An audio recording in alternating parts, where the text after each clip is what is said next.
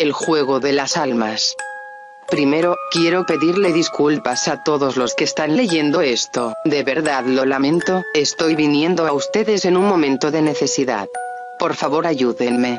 Lo único que pido de ustedes es que lean la historia completa, eso es lo único que necesito. Mi nombre es Andrea, soy una madre soltera, no les digo esto con el propósito de recibir una medalla o de que me feliciten como muchas otras del círculo social al que pertenezco, ellas solo quieren palmaditas en la espalda y que les den reconocimiento. Solo quiero algo de tu tiempo. Veo a la maternidad como un fastidio, es algo necesario, sí, pero es algo fastidioso también. Mi hijo se llama Jesse, tiene 11 años. Jesse comenzó el quinto grado como cualquier otro niño, él era un chico muy alegre, lleno de vida y con mucha energía. Todo eso cambió cuando conoció a Stan este martes.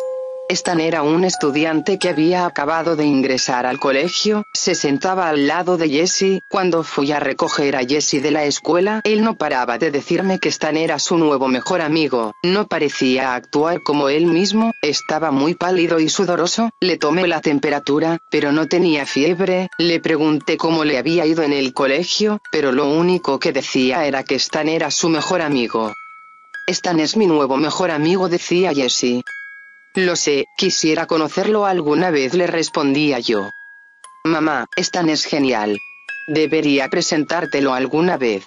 Es mi mejor amigo, el mejor amigo de todo el mundo entero. Tuvimos esa misma conversación unas cien veces ese mismo día, cuando acosté a Jesse en su cama, él me miró con lágrimas en los ojos, puso su mano enfrente de su cara y me señaló con el dedo para que me acercara un poco, volteé mi cabeza y él me dijo algo en la oreja que me dio un pequeño escalofrío. En ese momento no sabía por qué me dio un escalofrío, pero lo hizo. ¿Tú me crees? ¿Verdad? Me susurró. Me levanté de la cama para poder verlo de frente. Que si te creo que, cariño. Stan, respondió. Stan es mi mejor amigo. Asentí con la cabeza y le volví a tomar la temperatura, no parecía tener fiebre, de nuevo, me fui a mi cama, pero en realidad no pude dormir bien esa noche, el miércoles, cuando iba en camino de llevar a Jessie al colegio, se le veía muy extraño, me dijo que no quería ir a la escuela hoy. ¿Te sientes mal? Le pregunté, no me contestó. Se estaba mordiendo el labio inferior de manera muy extraña, nunca lo había visto tan nervioso. No. Tengo que ir a clases. Abrió la puerta del auto y se fue directo a la entrada de la escuela, sin decirme te quiero, ni siquiera un adiós, nada, caminó hacia la entrada del colegio con la cabeza baja. Presioné los frenos y di media vuelta para dirigirme al trabajo, un niño estaba parado enfrente de mi carro, dos segundos más si lo hubiera arrollado, el chico era pálido, con un cabello de color amarillo casi blanco y ojos de azul claro, dio unos golpes en la parte delantera del auto, como si fuera una puerta dos veces, me saludó, y subió las escaleras camino a la escuela, cuando recogí a Jesse de la escuela ese día, se le veía más animado, estaba solamente un poco más pálido de lo normal, pero de resto se le veía alegre, me dijo todo lo que había hecho en la escuela, me habló sobre dinosaurios, música, matemáticas, y luego me dijo sobre lo que hizo en el receso. Y después de matemáticas tuvimos receso. Mamá, no creerás lo que hice hoy en el receso. Dime, le dije, sonriéndome a mí misma mientras conducía. Estaba pensando en las cosas que jugaba yo con mis compañeros cuando tenía su edad. Algo clásico, algo normal. Me uní a una iglesia, estaba un poco confundida. ¿Te uniste a una iglesia? ¿En el receso? Jessie asintió. La iglesia de Stan. Creí que era alguna cosa que se habían inventado los chicos para entretenerse. ¿Qué es la iglesia de Stan? Le pregunté, ¿es la iglesia de Stan, mamá? Jessie se rió como si hubiera hecho una pregunta obvia. ¿Y qué es lo que hacen ahí? Ya sabes, como miembros de esa iglesia le pregunté, muchas cosas. Hoy solamente hicimos la iniciación y escuchamos a Stan. Estaba hablando en palabras raras y divertidas, luego todos nos sentíamos cansados y nos acostamos un rato. Estacioné el auto junto a la casa. ¿Eso fue todo? Le pregunté. Eso sonaba raro, pero los chicos no parecían estar haciendo nada malo. Stan nos dio volantes también. Jessie sacó un pedazo de papel arrugado de su bolsillo, tenía tres palabras escritas en marcador negro, Iglesia de Stan. Al día siguiente, cuando fui a recoger a Jessie de la escuela, estaba convencida de que algo de verdad malo le estaba pasando a mi hijo. Estaba muy asustado y nervioso. ¿Qué te ocurre, cariño? Pregunté, tocando su frente para sentir su temperatura, no tenía fiebre. Jugamos al juego de las almas hoy dijo. Su cabeza estaba de lado, no se quedaba quieto en su asiento, miraba a todos lados en el camino a casa. ¿El juego de las almas? Le pregunté, él solo asintió con la cabeza, mirando a todos lados como si buscara algo, una enorme cantidad de sudor corría por su cara. ¿Qué es el juego de las almas? Pregunté. Le dije que no quería hacerlo, pero él me dijo que dejaría de ser mi amigo si no jugaba con él. ¿Cuándo fue eso? ¿Dónde estaban los profesores? Todo ocurrió en la iglesia, contestó, luego dijo casi susurrando, los adultos no pueden entrar a la iglesia. ¿La iglesia de Stan? Jessie asintió, con una lágrima deslizándose por su mejilla. ¿Qué es el juego de las almas, Jessie? Soy tu madre, si tienes algún problema solo dímelo. No puedo decirte, mamá. No puedo. Las reglas son malas. Son muy malas. ¿Y si le pregunto a Stan? Pregunté, él me dirá las reglas. No. Gritó Jessie, dándome un verdadero susto. No le preguntes a Stan las reglas, por favor, no lo hagas, mamá. Por favor. Estacioné el auto, asustada y confundida. Promételo, mamá, promételo, promételo, promételo, promételo, promételo, promételo, por favor. Jessie estaba balbuceando, estaba muy asustado, lo agarré y comencé a sacudirlo, tratando de calmarlo, se quedó dormido en mis brazos, así que lo llevé a su cama y lo acosté para dormirlo, solo necesita dormir. Me decía a mí misma. Lo único que necesita es dormir, lo dejé en su cama y cené sola, fui a verlo a su cuarto alrededor de las nueve antes de acostarme, parecía estar profundamente dormido, me desperté inmediatamente al oírlo gritando 18 minutos pasadas las 12 de la noche, corrí hacia su cuarto, pero no estaba en su cama, encendí la luz y Jessie salió del closet en el que se escondía, corriendo, como si algo lo persiguiera, se abrazó a mi pierna, seguía llorando, traté de calmarlo e intenté preguntarle qué pasaba. Nada de esto tenía sentido.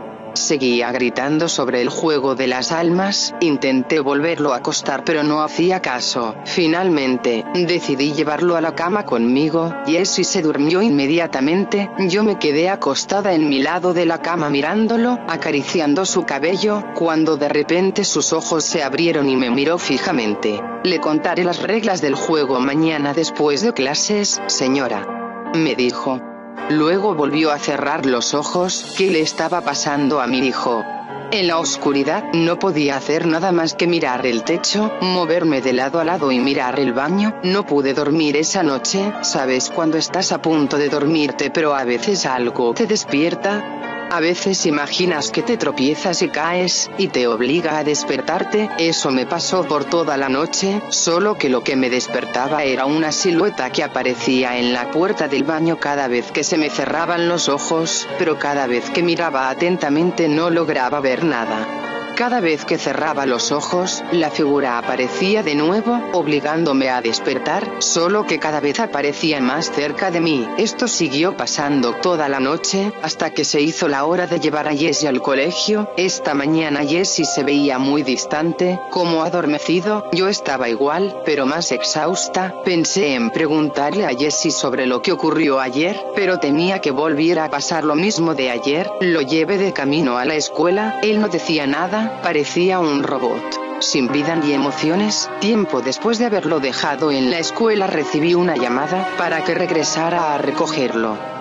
Había vomitado en clase, cuando fui a recogerlo, se le veía igual, le pregunté varias cosas, pero solo me rugía como respuesta, iba a llevarlo al doctor después de que se cambiara de ropa, no dijo nada hasta que llegamos al estacionamiento. ¿Puedes tan venir hoy a casa? Me preguntó, ¿no te sientes bien, cariño? ¿De verdad quieres que venga hoy? Le pregunté, ya quería conocer a este chico, pero no parecía que Jesse quisiera tenerlo en casa. Si me respondió, ok, ¿tienes el número de sus padres? Ella le preguntó a sus padres, ellos dijeron que podía venir. Pues todavía tenemos que esperar a que salga de clases, y aún así quiero hablar con sus padres. Ok. Jesse bajó del auto y caminamos a la entrada de la casa. ¿Tienes su número?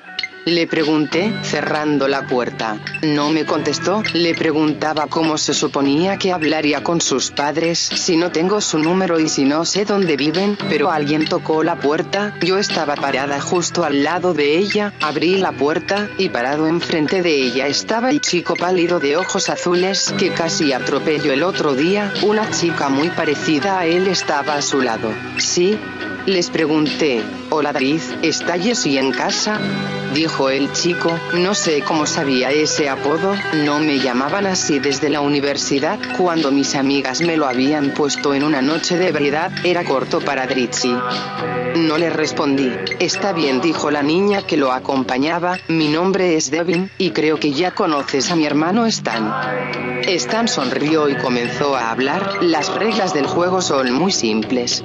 Regla 1 no pasar frente a espejos por la noche. Regla 2 no dejar ninguna puerta abierta cuando te vayas a acostar esta noche. Pregúntale a Jessie sobre la regla 3 y recuerda esto, un rechinido significa que estás haciendo algo mal, un crujido significa que estás a punto de perder, cuando las luces se apaguen de repente, con suerte no verás la silueta oscura observándote en una esquina de la habitación, con suerte no sentirás su respiración en tu cuello mientras caes al suelo, y si escuchas un golpeteo, bueno, con suerte nunca escucharás un golpeteo. Stan se dio media vuelta y se fue con su hermana, me les quedé viendo mientras se iban y agité mi cabeza, no iba a ser parte de su estúpido juego, caminé a la cocina y me encontré con Jesse sentado en una silla a un lado de la mesa, llorando. ¿Qué ocurre, cariño? Le pregunté, escuché un golpeteo, me dijo entre sollozos, mi boca estaba seca, ¿cuándo termina el juego? Le pregunté, nunca, me susurró, el juego nunca termina. Mi corazón estaba latiendo muy rápidamente, ¿cuál es la regla número 3, Jessie? Su cara perdió toda expresión y trató de reunir aliento para decirme la última regla, regla 3. Una vez que sepas todas las reglas, ya eres un jugador. Mi corazón se detenía. ¿Qué ocurre cuando pierdes? Cuando sea de noche, los oirás llegar. Les gusta hacerte saber que están cerca. ¿Quiénes? Stan y Devin dijo Jesse. Vendrán de cualquier espejo o puerta abierta y te arrastrarán con ellos. ¿Cómo ganas? Ganas si le cuentas a más personas las reglas del juego que la persona que te las contó a ti. Como dije al principio, lo lamento, pero gracias por ayudarme, lo digo sinceramente, ahora puedo disfrutar mi libertad de nuevo, espero que disfruten su noche, y saluden a Stan y Devin de mi parte.